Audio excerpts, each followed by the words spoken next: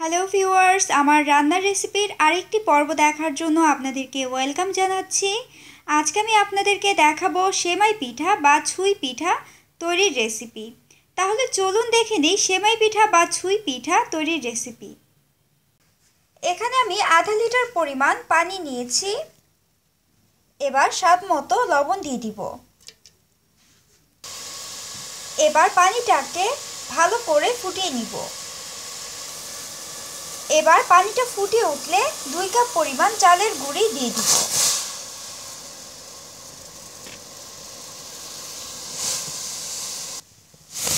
এবার ভালো করে নেড়ে চালের গুঁড়ির খামির তৈরি করে নিব।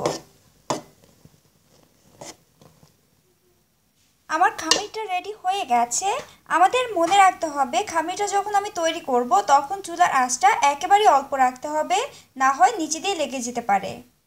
এবার চুলা থেকে নামিয়ে খামিরটাকে ঠান্ডা করে নিব। খুব বেশি ঠান্ডা করা যাবে না না হয় খামিরটা শক্ত হয়ে যেতে পারে। এবার খামিরটা হালকা গরম থাকা অবস্থায় ভালো করে মেখে নিব। খামিরটাকে ভালো করে মথে দুই ভাগ করে নিয়েছি। এবার দুইটি রুটি বেলে নিব।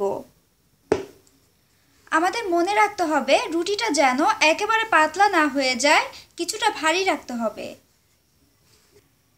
আমার রুটিটি বেলা হয়ে গেছে, আপনারা দেখুন ঠিক এরকম ভারী হবে। এবার রুটিটাকে আমি একটি ছুরি দিয়ে মাঝখান থেকে দুই ভাগ করে কেটে নিব। এবার আমি রুটিটাকে চিকন চিকন করে কেটে নিব। এভাবে একটা একটা করে কেটে নিব।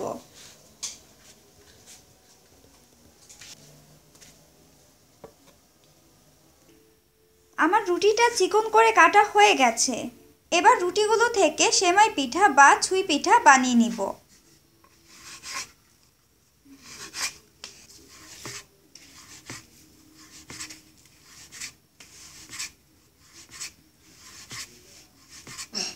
ভিউয়ার্স আমার সেমাই পিঠাগুলো বানানো হয়ে গেছে।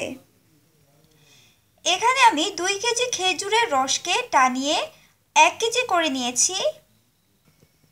এবার খেজুরের রসটাকে ভালো করে ফুটিয়ে নিব। আমার খেজুরের রসটা ফুটে উঠেছে। এবার আমি সেমাই পিঠাগুলো দিয়ে দিব।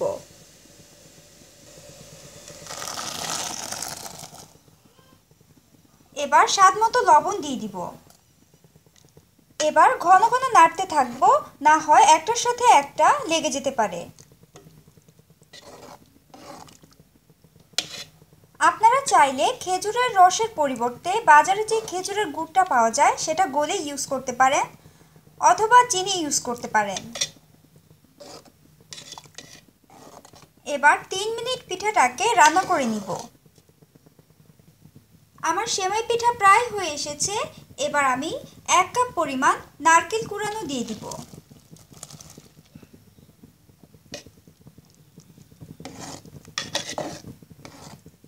এবার আরও দুই মিনিট রান্না করে নিব। আমার সেমাই পিঠা রান্না হয়ে গেছে, এবার আমি চুলা থেকে নামিয়ে পরিবেশন করব। সো ডিয়ার ভিউয়ার্স হয়ে গেছে আমার সেমাই পিঠা বা ছুঁই পিঠা তৈরির রেসিপি আশা করি আপনাদের আমার রেসিপিটি ভালো লেগেছে। আমার আরও নতুন নতুন রেসিপি যদি আপনাদের ওয়ালে পেতে চান, তাহলে আমার চ্যানেলটি সাবস্ক্রাইব করুন। তাহলে আমার সব রেসিপি আপনাদের ওয়ালে পৌঁছে যাবে। সো প্লিজ সাবস্ক্রাইব রান্নার রেসিপিস